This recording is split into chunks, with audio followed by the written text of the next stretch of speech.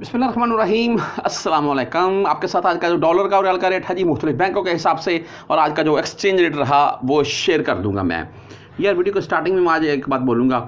تمام پردیسیوں کے لیے جی کہ اللہ پاک کی ذات، تمام پردیسیوں کی ماؤں کو سلامت رکھے۔ اگر بھائی کسی کی والدہ زندہ نہیں ہے یعنی کہ اللہ کو پیارے ہو چکے ہیں، تو اللہ پاک کی ذات ان کی مغفرت فرمائی یہ بات اس لیے کر رہا تھا کہ جو ماں کی دعا ہے نا، باپ کی بھی۔ وہ بھائی ساتوں آسمان اللہ تعالیٰ تک ذات تک ڈک پہنچتی ہے۔ کیوں؟ یہ کیوں میں دعا کی بات کر رہا تھا؟ ہمارے گاؤں میں مجھے خبر ملی ہمارے گاؤں میں ایک باڈی پہنچی پردیسی کی۔ یہاں دمام میں کام کرتے تھے۔ تو کافی دنوں کے بعد پہنچی وہ بول رہے ہیں جی کہ سارا گاؤں بہت افسوس میں تھا۔ تو اللہ تعالیٰ کی ذات تمام پردیسیوں کی حفاظت کرے جی بس یہی میں کہوں گا۔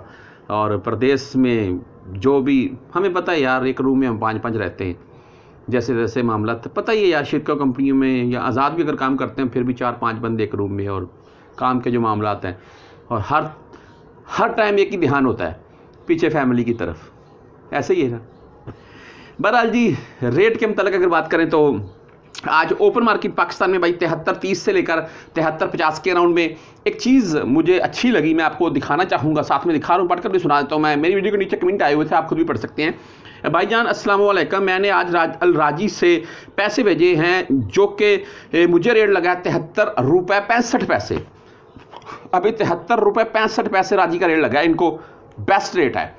آج کی جو صورتحال ہے وہ آپ کو بتاتا ہوں میں۔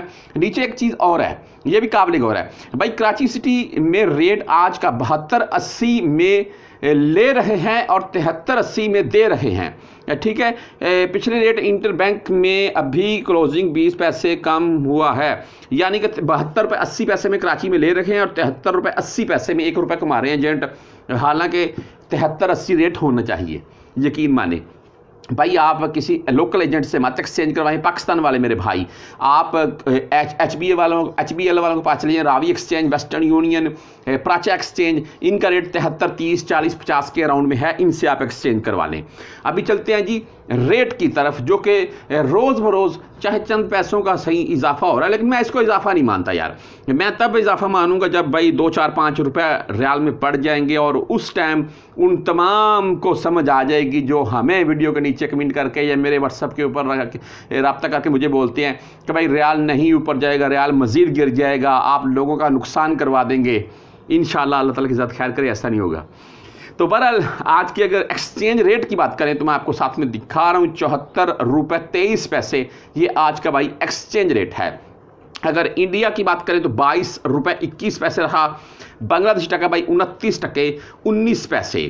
اور درہم تو بھائی کیا ہی بات ہے، پھر نائنٹی سیون حلالے کا ایک یعنی کہ، سوری، ایک ریال کے نائنٹی سیون حلالے بنتے ہیں درہم کے۔